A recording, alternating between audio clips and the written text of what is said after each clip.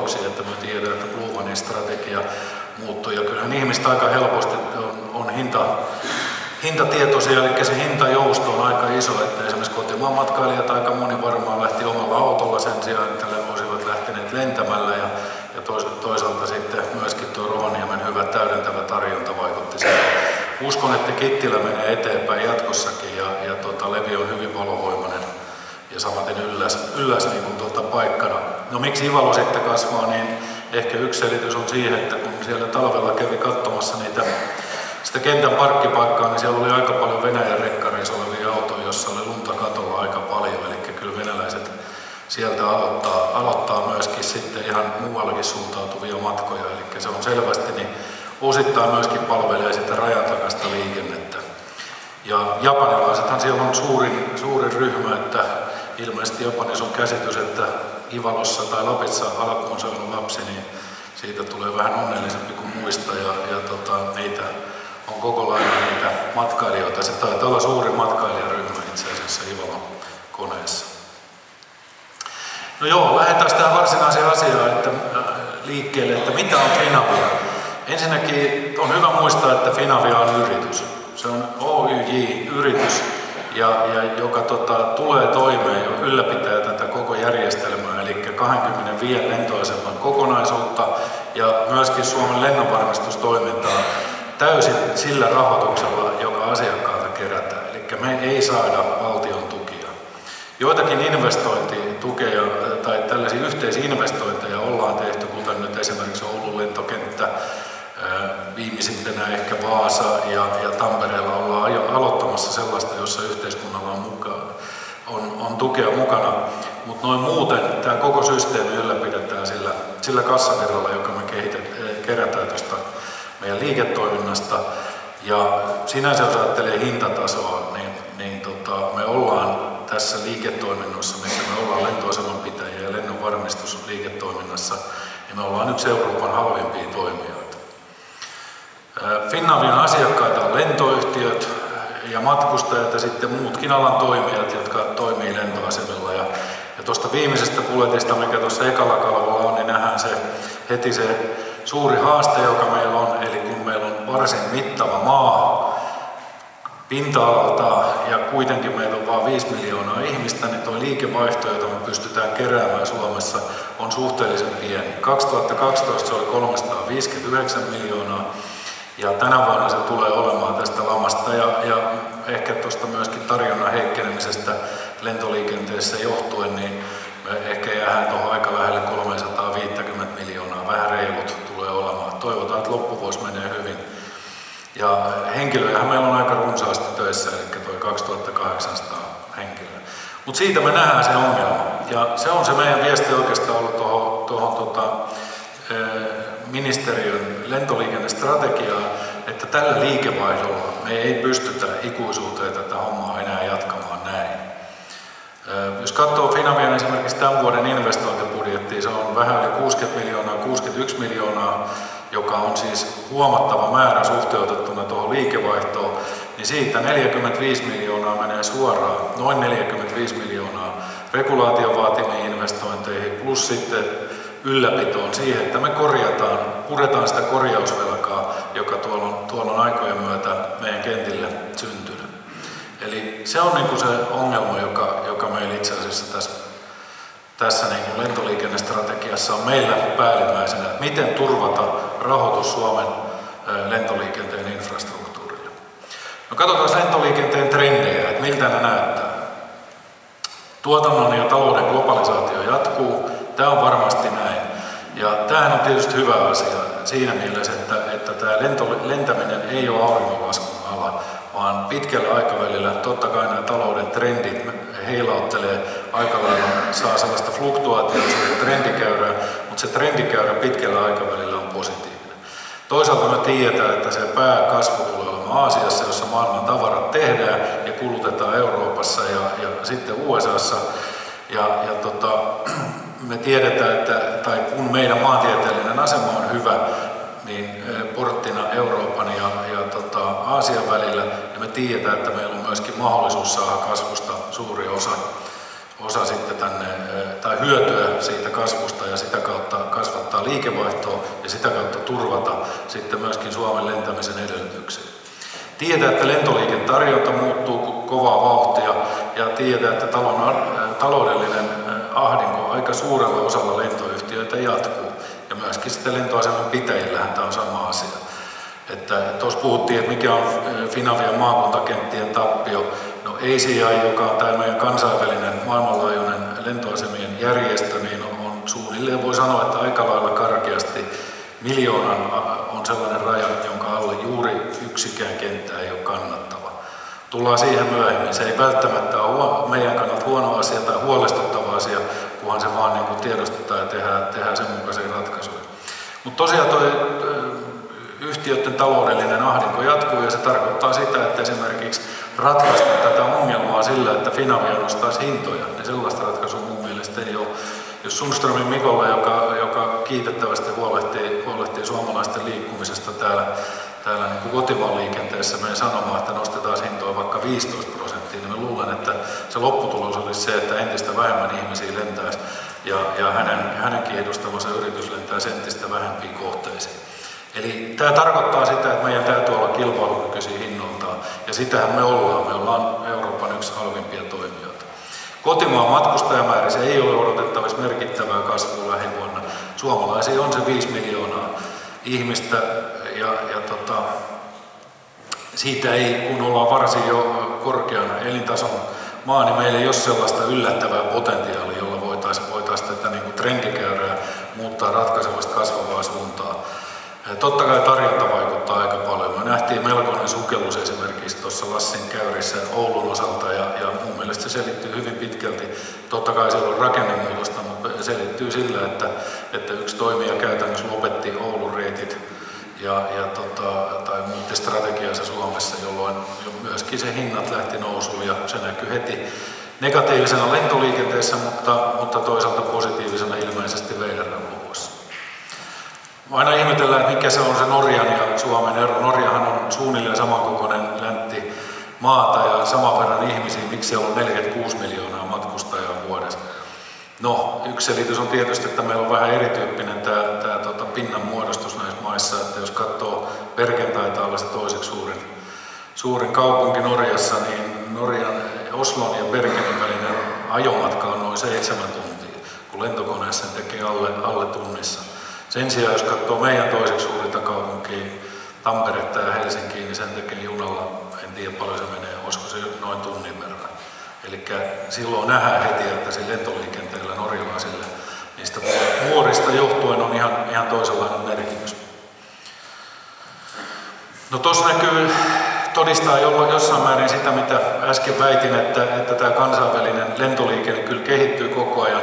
Ja aika mielenkiintoistahan tuolla on se, että, että kun katsotaan tota, täällä, miten kovia iskuja ikään kuin lentoliikenteen näkövinkkelistä tapahtui, oli se New Yorkin World Trade Centerin katastrofi ja, ja lisäksi oli sitten näitä tauteja suunnilleen samoihin aikoihin, joka näkyy pienenä pudotuksena tuossa lentoliikenteessä mutta nähdään, että tämä lentoliikenteen suoritteet on jo siitä kasvaa 53 prosenttia.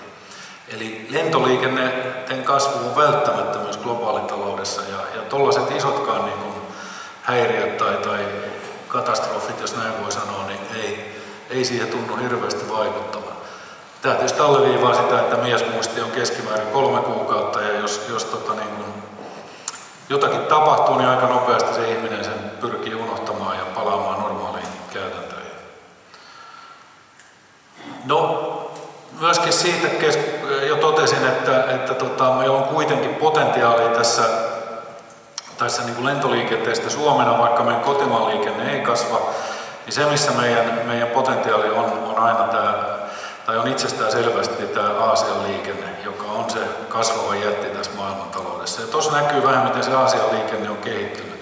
Eli tuonne kun trendikäyrä piirretään ja unohdetaan tuo 2009, jolloin koko koko Euroopan talous tai maailmantalous itse asiassa jo seinää, niin kyllä se aika vahvasti kasvava on.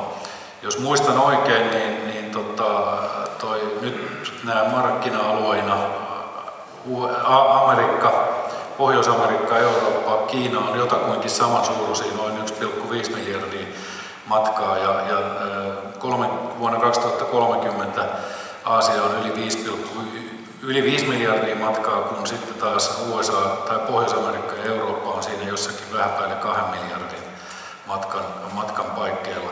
Eli se kehitys on siellä ja tämähän on meille positiivinen asia.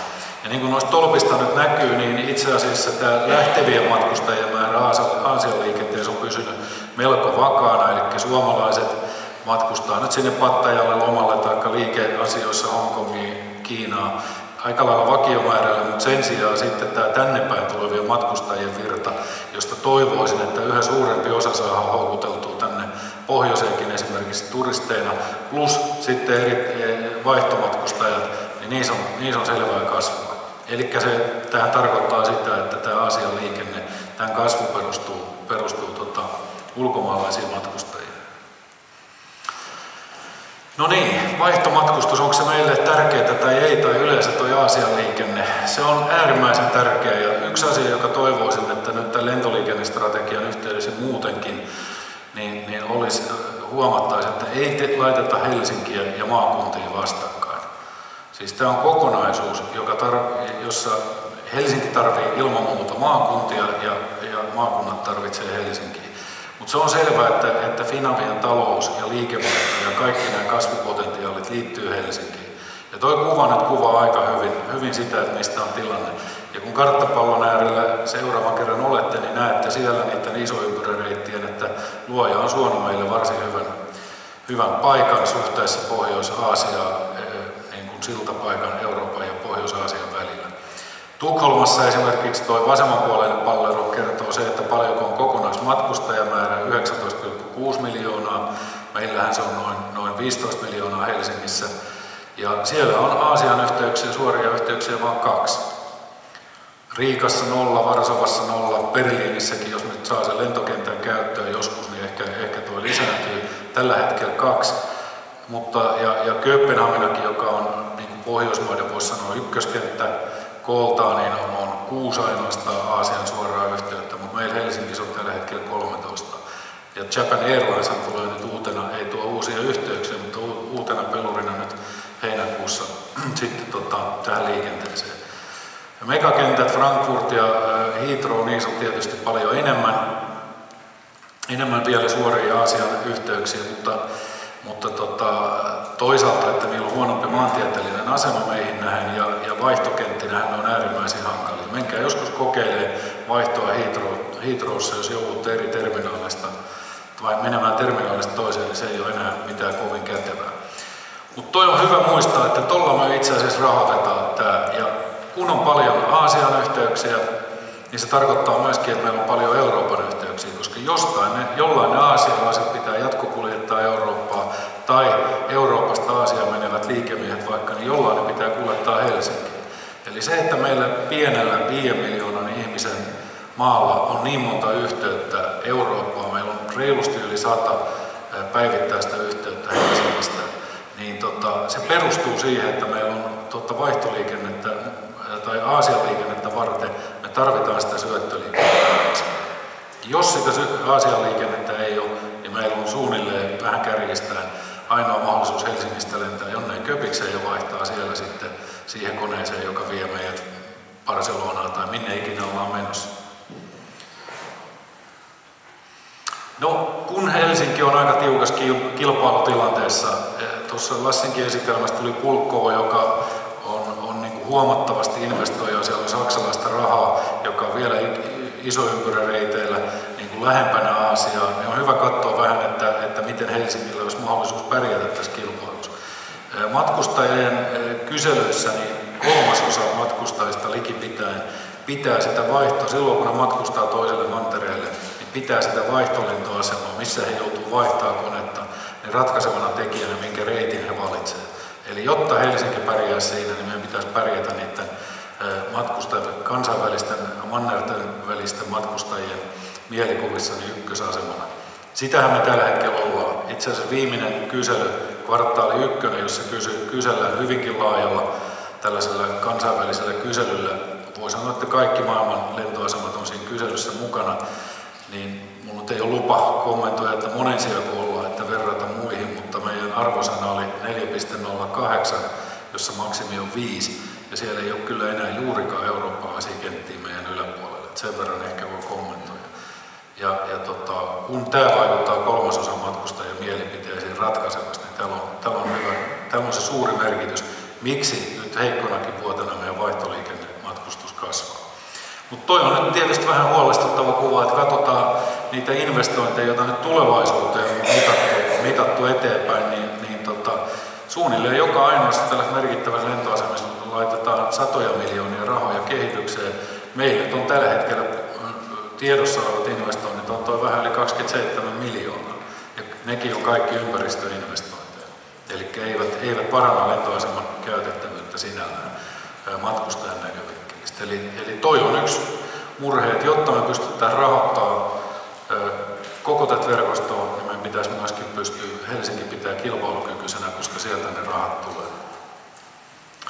No, Tämäkin oli jo vissiin tuossa alustuksessa esillä, mutta on aina hyvä muistaa, emme tähän sen pitempään, että paitsi että lentoliikenne on väline muille elinkeinoille, niille liikemiehille, jotka matkustaa lentokoneesta tai kuljettaa rahtiin, niin tämä on myös itseisarvo liiketoimintana. Eli tämä tuo huomattavasti niin kuin rahaa suoraan valtion kassaan ja, ja myöskin sitten meidän osuus tuosta PKT on sangen iso. Eli kannattaa mieltää, että tämä on tärkeä työllistäjä, tämä on tärkeä verotulojen tuottaja. Ja siinä mielessä niin myöskin kun tehdään päätöksiä, niin pitää huolta siitä, että tämä ala on kilpailukykyinen ja että täällä on mahdollisuus menestyä. Koska tota, tämä, on, tämä on meille kaikille ihan noin ansainta, valtiontalouden ansainta mielessäkin tärkeä asia. No mikä on Finavian? Äsken totesin, että Finavia on osakeyhtiö, niin mikä on sen niin kuin liiketoiminnan peruslähtökohta, niin se on oikeastaan kirjoitettu tuohon. Eli EUhan on lähtenyt siitä, että lentoliikenne on sellaista logistiikan muotoa, jota juurikaan ei saa julkisilla rahoilla tukea. Miksi näin on? Niin on, syy on epäilemättä se, että eurooppalainen lentoliikenne on tehotonta, kun verrataan esimerkiksi amerikkalaisiin lentoliikenteeseen. Jos otetaan vaikka lennonvarmistus liiketoimintoja verrataan, että pystyy helposti vertaamaan, niin lennonvarmistus Euroopassa on kaksi kertaa kalliimpaa kuin Amerikassa. Ja, ja tota, myöskin lentolippujen hinnat on Amerikassa käsittääkseni jossain määrin halvempia kuin täällä. Eli Euroopalla talousalueena esimerkiksi suhteessa USA ja Amerikkaan on, on selkeästi niin kuin haastajan asema. Ja tätä on niin kuin mitä sitten voitaisiin tehdä, niin, niin se lääke on tietysti se, että tehdään tästä mahdollisimman markkinaehtoista toimintaa, jolloin kilpailu pitää huolen siitä, että, että niin lentoasemat, lennonvarmistustoiminnat, toiminnot kuin kaikki muutkin niin kehittyy sellaiseksi, että Eurooppa ei, ei, ei sitten anna tasotusta tässä muille, muille isoille talousalueille. Ja näinpä julkinen tuki, joka aina vääristää markkinaa, niin on, on tota kielletty. Eli tämä on hyvä muistaa. Me ei saada valtiolta rahaa, eikä edes ruvetta sanomaan, niin sekin olisi aika ison, ison niin työn takana eh, saa EUlta lupia, lupia sitten, että, että tota, tällaista rahoitusta voitaisiin pitää. Nythän EU tulee tänä kesänä linjaamaan uudemman kerran vähän sitä, että mitkä on nämä tällaiset julkisen tuen, tuen mahdollisuudet lentoliikenteelle ja olen ymmärtänyt hevosmiesten tietotoimiston puheesta, että se tulee entisestään tiukkenee tämä mahdollisuus. No sen verran tietysti EU-sakin ollaan, ollaan niin järjissä, että tajutaan, että tällainen maa kuin Suomi, niin ei täällä voi olla joka ainoa lentokenttä tällaisen yksityisen investorin periaatteella kannattava. Ja sen takia meille on myönnetty pysyvä poikkeus, joka toivottavasti näissä uusissakin linjauksissa on näin. Eli meillä ei yksittäisen lentoaseman tarvitse olla kannattava. Että Suomeen tarkastellaan kokonaisena verkostona. Ja, ja tota, hyväksytään se, että ne kannattavat lentoasemat subventoi niitä, jotka ei, eivät kannata. Ja tämä on sellainen asia, josta meidän pitäisi pitää huoli, että jatkossakin on näin, siis edunvalvontana EU-ssa. Eli että me voidaan siirtää rahoja näiden lentoasemien välillä. Ja, ja tota, yhtenä seurauksena tietysti siitä, että, että kun tämä on kokonaisverkosto, yhtenä verkostona tarkastellaan, niin meillä on myöskin yksi ainoa hinnoittelu. Eli me ei voida niin kuin lentoasemia kilpailuttaa, tai lentoasemia sillä tapaa esimerkiksi ajatella, että, että houkuteltaisiin tiettyjä vaikkapa charter-lentokoneita Tampereelle Helsingin sijasta, että alennettaisiin chartereiden hintaa Tampereella suhteessa siihen, mitä se on Helsingissä. Tällainen hinnoittelukonsti ei meillä ole yksinkertaisesti mahdollista. Tuossa nyt näkyy tuo Finavian lentoasemalla, että hyppään sen yli, koska tämä aikapulla tulee. No tuossa on meidän verkosto. Eli vielä tuohon verkostoperiaatteeseen, että se on erittäin hyvä asia. Siitä pitää pitää kiinni, että meillä on mahdollisuus siirtää niitä rahoja. Jos yksi viesti tästä esityksestä kannattaa muistaa, niin se on varmaan tämä. No tuossa näkyy meidän verkosto ja niin kuin nähdään, niin Suomessa on varsin kattava verkosto. Ja käy nyt sitten lentoliikennestrategiassa sitä verkoston koolle miten tahansa. Ja mun mielestä lähtökohta pitäisi olla se, että suomalainen lentoliikenneinfrastruktuuri tässä paranee. Eli silloin tullaan näihin matkaketjuihin ja tämän tyyppisiin asioihin. Et nyt tällä hetkellä meillä on erittäin hyvin kattava, kattava tota, lentoasemaverkosto, ja mitä pohjoisempaa mennään, niin oma, ups, nyt se hyppäsikin väärään suuntaan, et mitä pohjoisempaa mennään, niin sen tärkeämpää täällä lentäminen on. Tästä ylöspäin ei juurikaan enää esimerkiksi rautatieyhteytyksiä. Kolariin silloin tällöin taitaa juna ajalla. Mutta esimerkiksi Lapin osalta niin on vaikea nähdä, että mikä muu konsti olisi, olisi käytettävissä, kun hoidetaan hallinnollisia asioita Helsingissä tai, tai tota, halutaan lähteä maailmalle kuin lentäminen. Junamatka, jos sellainen on käytettävissä, on liian pitkä ja mun mielestä automatkakin on liian pitkä. Sitten kun mennään etelämässä, tilanne muuttuu ihan toisenlaiseksi.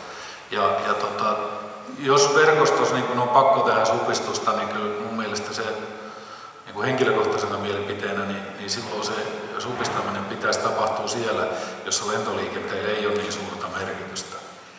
Mutta on hyvä muistaa, että tuo tunnin ympyrä, niin kuin se on aika kattava, kattava tuo meidän verkosto. Ja jos ajatellaan mitä tahansa kansainvälistä suurkaupunkia, niin harvoinpa siellä, siellä niin kuin tunnissa lentoasemalle päästään. Mutta Suomessa se on, se on aika lailla niin kuin joka, joka puolelta Suomea. No tuossa näkyy toi meidän lentoasemien matkustajamäärät. Ja jos katsoo siellä, niin täällä on joitain kummallisia kohtia, esimerkiksi missä se on Jyväskylä, jota, jota voisi miettiä vähän tuossa. Jyväskylä se joku, joku tuollainen 65 000 matkustajaa, siellä on hyvä kenttä ja, ja niin edelleen. Mistä se mahtaa johtua? No Tikkakoski on vähän, vähän kaupungin ulkopuolella ja vähän niin väärää suuntaan. Ja harvoin lentoasemalle tullaan kävellen tai polkupyörällä, vaan sinne tullaan yleensä jollain muulla kulkuneuvolla. No, Tikkakosken tapauksessa hyvin usein omalla autolla. Me tiedetään, että kun lentoasemalle mennään, siellä menee tunti erilaisia turvatarkastuksia ja tsekkauksia ja niin edelleen. Ja se ihminen, kun se lähtee Jyväskylän keskustasta, niin kyllä se hyvin helposti ajaa se autolla suoraan Helsinkiin. Koska se, se matka kuitenkin taitaa olla silleen niin kuin kätevänkin. Sitten kun on Vantaalla, niin siitäkin vielä Vantaalla on hyvin harvoin on ihmisille asiaa, vaan se on sinne Helsingin keskustaa. Niin se hyvin äkkiä se matka itse asiassa Jyväskylästä saattaa olla isompi, pitempi kuin, tai ainakin kankeampi kuin sitten omalla autolla. Ja, ja tämä näkyy siinä, että tuolla on, tuolla on niin yllättäviäkin paikkoja, joissa on hyvin vähän, vähän matkustajia. Toinen mielenkiintoinen esimerkki meidän verkoston kannalta on tietysti Lappeenranta, jossa on 112 matkustajaa ollut viime vuonna. En tiedä ketä ne on ja millä ne on mennyt, mutta 112 kotimaan matkustajaa sinne on saatu.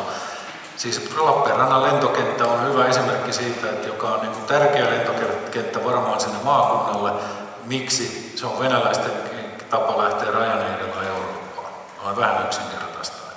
Mutta tämä lentoaseman verkoston kannalta sille ei ole sinänsä merkitystä, koska suomalaiset ei, ei sieltä matkusta Suomeen eikä Helsingin kautta maailmalle, vaan siellä on se Ryanair, jolla, jolla lähinnä niin kuin sitten turismiin liittyviä lentoja tehdään. No Lapista en tähän käytä enemmän aikaa, tuossa on e- eräällä asemalla kasvu ja suuremmalla osalla on miinusta. Ja kyllä mun mielestä tuossa hyvin pitkälti niin näkyy tämä talouden lama, eli ihmiset etsii halvempia muotoja, pakataan koko perhe autoon ja ajellaan sillä sitten Lappiin lomalle. Ja toisaalta sitten se, että meidän tarjonta nyt viime vuonna jossain määrin putos, joka heti tarkoittaa, että lippujen hinnat nousee. Ja, ja tota, se näkyy näissä, näissä luvuissa. Matkaketjut on äärimmäisen tärkeitä. Tuossa näkyy vähän meidän verisuoniverkostoa siinä, että tiedän, että näihin tullaan tuossa myöhemmin iltapäivällä esityksessä, niin en mene tähän sen yhtään sen pitempään. Mutta nähdään, että, että missä niin kuin lentoliikenteellä on merkittävä rooli ja, ja niin edelleen. Ja tuossa kun sitten summaan, niin nopeasti täytyykin kiiri, kiiruhtaa eteenpäin, niin, niin tota, yksi asia, joka tuon lentoliikennestrategian tuloksena pitäisi, pitäisi niin kuin tarkastella ja, ja saada paremmalle tolalle on, on tietysti tämä meidän matkaketjut. Eli, eli miten eri liikennemuodot liittyy toisiinsa. Jos katsotaan esimerkiksi Sveitsiä, niin, niin sehän on ihan erityyppinen se heidän niin kuin, tapansa rakentaa lentoliikennettä. Eli siellä lähestulkoon joka ainoalta asemalta pääsee myöskin suora, tsekkaamaan itsensä lennolle ja ne laukut saa jätettyä junaan ja ne lähtee maailmalle sitä kautta. Ja myös päinvastoin. Eli kun tullaan takaisin maailmalta, niin, niin tota, ne laukut menee junaan ja sinne asemalle. Asemalla ensimmäisen kerran siellä pääte juna-asemalla, niin on syytä ottaa se laukku omaan käteen. Eli tämä lento, lentomatka yhdistyy hyvin tähän rautatiekuljetukseen ja Suomessa tietysti rautatieverkosto ei ole kovin kattava, eli ne matkaketjut, tärkeät matkaketjut, jotka pitäisi yhdistää, on, on, on esimerkiksi linja-autoliikenne ja, ja myöskin lentoliikenne. Olisi aika hyvä liikkumisen tapa se, että aamulla menisi esimerkiksi linja-autoasemalle tsekkaa sisälle, istuisi suoraan lentokentälle menevään bussiin, joka saattaisi nyt kestää esimerkiksi tunti tai puolitoista, lukisi lehden, joisi kahvin, söisi sämpylän ja sen jälkeen kävelisi turvatarkastuksen läpi suoraan koneelle. Heikentäisikö se sitten sen, sen niin kuin matkustajan, jos joku lentoasema siitä läheltä menee pois, niin jos matka kasvaa tunnilla tai puolella toista tunnilla, jos se lentoasema on syöttävä, liikennemuoto järjestetään hyvin, niin heikentäisikö se sitä palvelutasoa vai ei? Se on niitä asioita, joita, joita varmaan on syytä pohtia. No milloin lentoyhteys on hyvä? Mikä on lentoyhteyden kilpailukyky? No me kaikki tiedetään, että aikataulu on tärkeä. Aamulla pitäisi päästä lähtemään ja illalla pitäisi päästä kotiin. Ja se on tietysti Suomessa aika vaikea, vaikea tota, niin kuin tehdä, että tiedä paljonko Sundströmin Mikolla esimerkiksi on Fleetissä lentokoneita, mutta jos kaikille 24 kentällä tämä Suomessa toteutetaan, niin vähintään 24 konetta tarvitaan.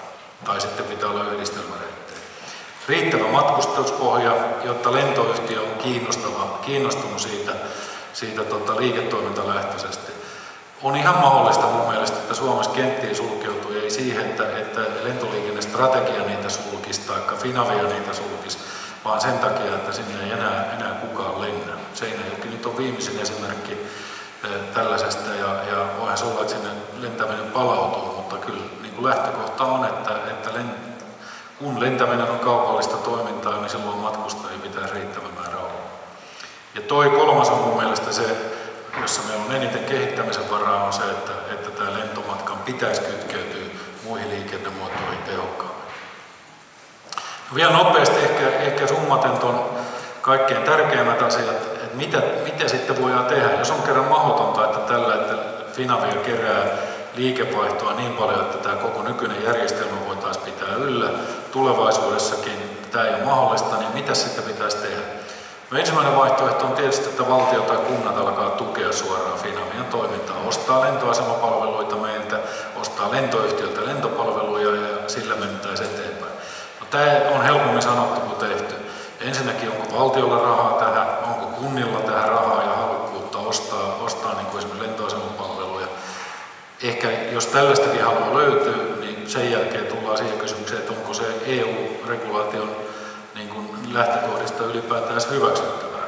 Ja on huomattavaa, että pelkkä lentoyhtiöiden tukeminen ei riitä. Että jos lentoyhtiö saa riittävästi rahaa, että se kannattaa olla lento, pitää yhte, lentoyhteyttä yllä, niin se ei vielä tarkoita, että siinä tulisi meille riittävästi rahaa, että me pystytään sitä lentoasemaa pitämään. Ja uskoisin, että edelleenkin vaikka sitä tukea annettaisiin, niin ne, ne frekvenssit ja yhteydet, niin pienet asemat saattaisi jäädä vähän heikon puoleiseksi. Mutta tämä on täysin mahdollinen tie. Ja, ja tota, jos tämä valitaan, niin, niin silloin pitäisi niin kuin aika, aika nopeasti lähteä varmaan loppaamaan EUhun ja, ja tota, katsomaan, että miten tällainen julkinen tuki olisi mahdollista. Verkoston supistaminen todetaan, että Suomessa tarvitaan vähemmän kenttiä. Ja se, mitä se edellyttää tietysti on, että syöttöliikenteen pitäisi olla äärimmäisen tehokasta niin, että ihmisten palvelutaso, kyky päästä kansainväliseen lentoverkostoon ei heikkenisi. Ja, ja tota, sitten on myöskin syytä huomata, että eri maantieteellisillä alueilla niin, niin tota, eri lentoyht- lentoyhteyksillä on suurempi tai pienempi merkitys. Meidän pitää ottaa tämä Suomen maantiede huomioon. Se, että Lappi on ihan eri asia kuin esimerkiksi keskinen Suomi.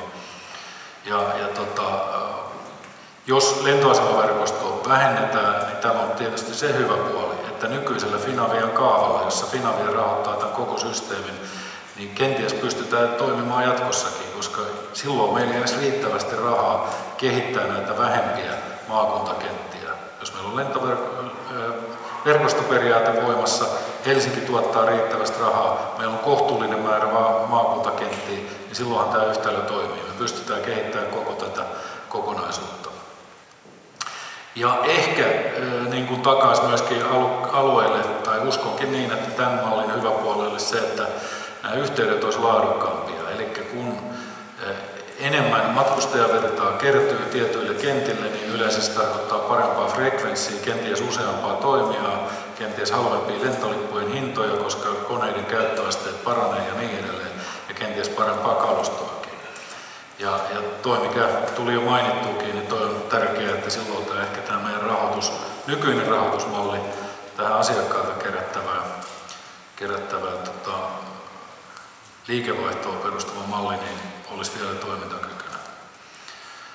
No tietysti sitten, että osa verkostokenttiä yksityistetään, eli, eli jos nyt otetaan vaikka Lappeenranta esimerkiksi, niin siellähän voisi olla niin, että, että sen Lappeenrannan vaikka kaupan näkövinkkelistä on järkevää, että lentokenttä tuottaa vaikka puoli miljoonaa tappioa, mutta se muu hyvä, mikä tulee, on miljoona, jolloin se kokonaisuus, kokonaisuus on plussalla, eli tällainen tappio olisi, olisi tota, niin kuin hyväksyttävissä siinä mielessä, että muualta tulevat tulot kompensoisivat sen, niin tämä olisi tietysti niin kuin yksi mahdollisuus, mutta kyllä se lentoasemien ylläpito silloin jäisi paikallisten ja maakunnallisten toimijoiden tehtäväksi. Ranskassa on aika paljon kauppakamarit mun käsittääkseni ylläpitää niitä kannattamattomia kenttiä ja niin edelleen. Tässä ollaan jälleen kerran niin kuin, sitten, sitten tietyllä tapaa sen EU, EU tota, verkosto tai EUn hinnoittelu ja lentoliikennestrategian osalta niin vähän kyseenalainen asia tietysti, että sitä subventoidaan, subventoidaan muilla tuloilla.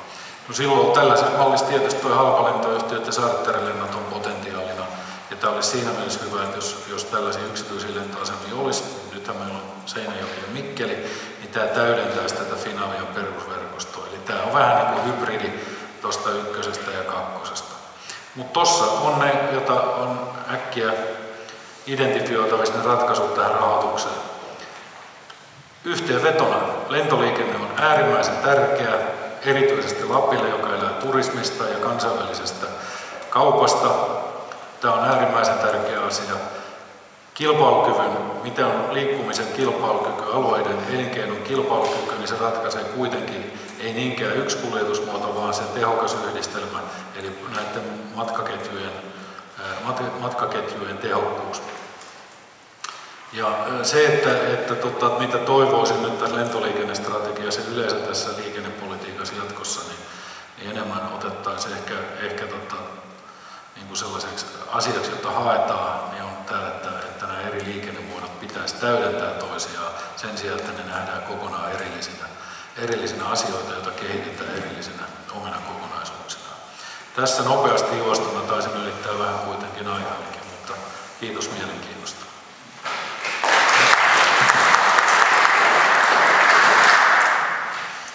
Kiitos Kari Savolainen. Arvotaan yksi kysymys, on sen verran kiireinen aikataulu tässä. Tuota, ehkä mä voisin sitten kysyä. Jos mä käytän iso ääntä, niin tarvitsee aikaa. Eli Kari, kiitoksia hyvästä esittelystä.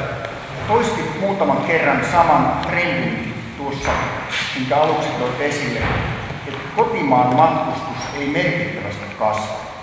Mä sanoisin, että jos näin ajatellaan, että Tampere ei olisi lähtenyt kasvuun, ei olisi Oulussa tapahtunut sitä nousupiikkiä. Eli kyllä kotimaassa löytyy markkinaa. Kyse on siitä, että se segmentoidaan.